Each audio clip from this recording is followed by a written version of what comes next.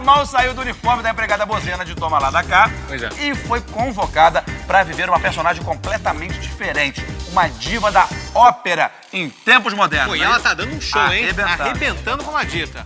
Bom, a Alessandra Maestrini conversou com a nossa querida Fiorella Matheus dos bastidores. Vamos lá ver? Vamos lá, roda aí. Vamos embora. Hoje eu vou conversar com a Alessandra Maestrini. Tudo bom? Hola, ¿qué tal? ¿Va ¿Ça va? How are you, honey? Nossa, quantos idiomas! Mas é- isso aqui é personagem ou é Alessandra? Então, a minha empresária, porque eu faço uma, uma, uma diva internacional de ópera, né? A minha empresária fala... É a Dita, né? É a Dita.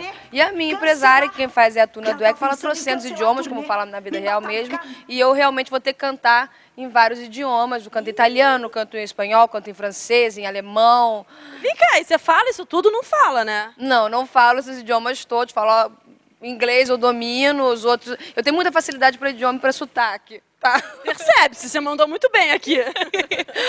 mas, ah, mas não falo esses idiomas não, mas, mas dou conta, assim, dou- dou- tenho facilidade para para isso. Bom, e você já é cantora, né? A gente já viu você dando uma palhinha no Toma Lá da Cá, canta super bem. Como é que tá sendo pra você soltar a voz de uma novela? Ah, um presente, né? Um presente você poder mostrar ah, um lado que o pessoal do teatro já, já conhece um pouco mais, né? Eu faço musical, faço musicais há 12, 13 anos e comecei cantando ópera, sonho da minha mãe, de todas as professoras de canto que eu tive, que eu cantasse Caramba, ópera. Eu, como adolescente, sempre achava careta, agora estou mais afim e veio o personagem para dizer, vamos minha filha, mostrar esse teu lado também. Ah, que legal. Então, olha, nada é coincidência. Esse cabelo ruivo, super vermelho, Um é a fósforo. Dita também. Um foge, ruiva como a Suzy, como diz Débora Bloch.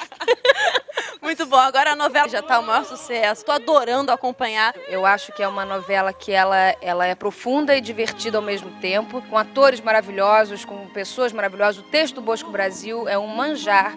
A direção do Zé Luiz é uma coisa que quando você vê, você tá fazendo as coisas, você não sabe. De repente, você tá aos prantos, você tá às gargalhadas, você não sabe nem como é que você foi parar ali. É um- incrível. Não, eu tenho que falar também do figurino de Emília Duncan, porque é uma benção. É um... Emília, nós te amamos, você sabe.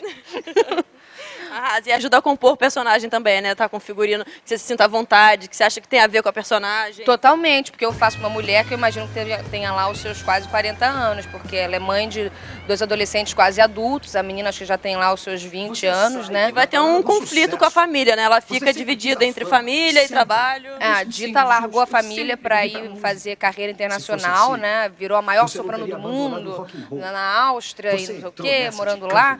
E ela resolve retomar o amor da família. E claro que não é tão fácil assim, né? Porque ela descobre no auge do sucesso que isso não basta para ser feliz. A filha também é uma excelente cantora, a Aline Peixoto, canta, que é uma loucura. Eu acho que ela vai cantar na novela também. Então desejo você muito sucesso, que você possa, um beijo, soltar mais ainda a sua voz, fazer muito sucesso, porque a gente te adora, adora te assistir. A gente te adora também. É falta de educação ser linda assim, né? Eu acho. para, eu vai. acho que é pessoal. Não, para aí, ó. Vamos voltar pro estúdio, então? A gente fica conversando aqui sobre isso depois. Volta aí pro estúdio.